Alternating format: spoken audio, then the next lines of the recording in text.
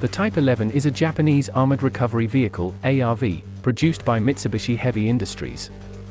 It was specially designed to support Type 10 main battle tanks. Production commenced in 2011. Deliveries commenced in 2011 or 2012. The Type 11 ARV uses chassis of the Type 10 tank. It lacks the gun turret but instead has an armored superstructure. It is fitted with specialized equipment for recovery and maintenance of the Type 10 tanks, as well as other military vehicles. It is also capable of recovering and towing older Type 74 main battle tanks. The Type 11 ARV is slightly smaller and less capable than another Japanese Type 90 ARV, which was designed to support larger Type 90 main battle tanks. The Type 11 is fitted with a hydraulic crane, winch, towing bars, and cables. There is a front-mounted blade. It is used as earth anchor during winching operations. It can be also used to clear obstacles, fill ditches and has some degree of earth working capability.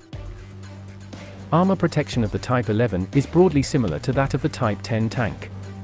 This vehicle was designed to operate under enemy fire. The Type 11 is fitted with NBC protection and automatic fire suppression systems.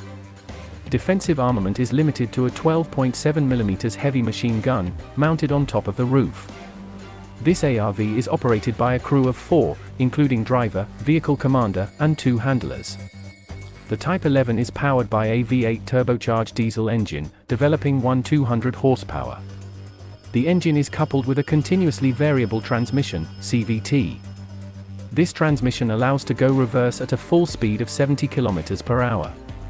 Due to its powerful engine and relatively low weight this recovery vehicle has an impressive power-to-weight ratio for this class of vehicles. This recovery vehicle retains advanced hydropneumatic suspension of the Type 10 tank. It can sit, stand, kneel, or to lean in any direction.